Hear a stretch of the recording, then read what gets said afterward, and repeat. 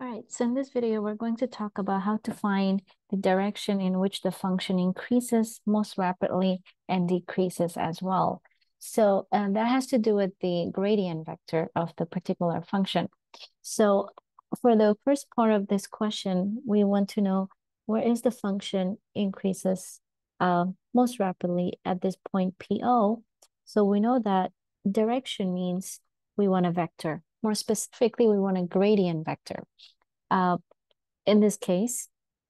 And we're going to make that gradient vector a unit vector.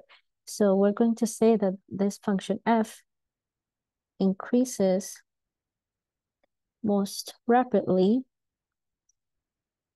in the direction of the gradient vector. So we're going to call that a unit vector. So let's call this u hat which will be the gradient of f at this point PO divided by its magnitude. So that's how you make the vector a unit vector, and this vector will be the greatest increase of this function. So we'll start off by finding the gradient of f. So the gradient of f is going to be its partial derivatives respect to each variable. So we'll have uh, f sub x, f sub y, and f sub z. So these are going to be our uh, partial derivatives, and together they're the gradient vector by definition. So we're using this function f of x. So let's go ahead and find the derivative respect to x. So y and z are treated as constants. So we're going to differentiate this piece and this piece since they involve x in there. So the derivative of ln of xy respect to x, well, that's just going to be 1 over xy times the derivative of the inside, which will just be y, plus now we're going to go ahead and differentiate this respect to x. So that'll give you z over xz, comma. Now partial derivative of y, um, uh, ff respect to y. So now we differentiate this and this since that's where y is involved. So the first term will give us, um, so we will have x over xy plus, and then when we differentiate this respect to y, we will have z over yz. And now the partial derivative of respect to z uh, will be to differentiate these two terms now since they involve z. So for the first term, we'll have y over yz plus, and then the last term we'll have x over xz. So these are our partial derivatives respectively. Now we're going to go ahead and plug in the point PO so we're going to evaluate our gradient of f at 1, comma 1, comma 1. So we're plugging in x, y, and z to be 1. So our vector becomes 2, comma 2, comma 2. So that's our gradient vector. So that's what we're going to substitute right up here. But now we want to make this vector a unit vector. We're going to have to find its magnitude. So now the magnitude of f at this point, PO, it's going to be the square root of 2 squared plus 2 squared plus 2 squared, which will give us simply um, 2 square root of 3. And now we're going to plug that in place of this piece right here. So that means f is increasing most rapidly in this direction. So our gradient of f, it's going to be 2 comma 2 comma 2 divided by its magnitude. So that's 2 square root of 3. And we're going to simplify that out a little bit more. So since uh, all of these have 2 in common, we can factor out a 2 and cancel the 2 with the denominator.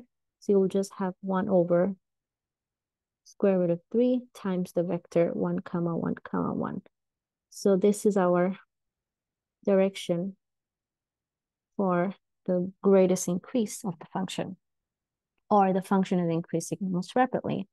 And we want to know what is the derivative in this direction. So that's the next part of this problem. We also want to find the derivative in that particular direction. So in this direction, so that would be the uh, maximum rate.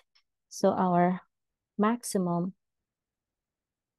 rate in this direction would be the magnitude of the gradient of f at that point, which we know just simply 2 square root of 3.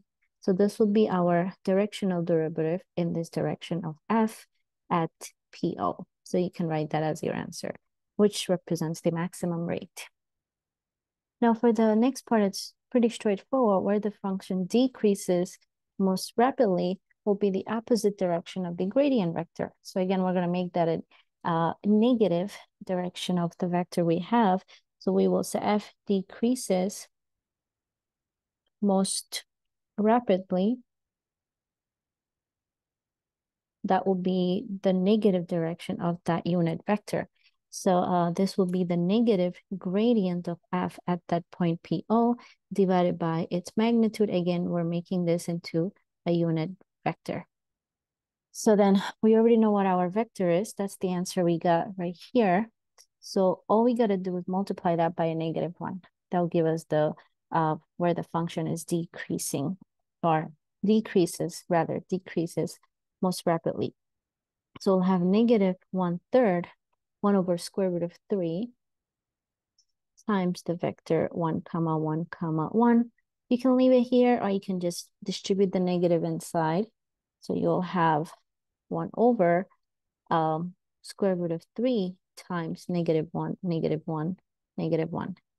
So that will be the direction where the function is decreasing most rapidly. Now, what will be the derivative in that direction? Well, so this will be the derivative in the direction of this negative unit vector of f at that point. So that's really just negative of the gradient magnitude of the gradient vector at PO.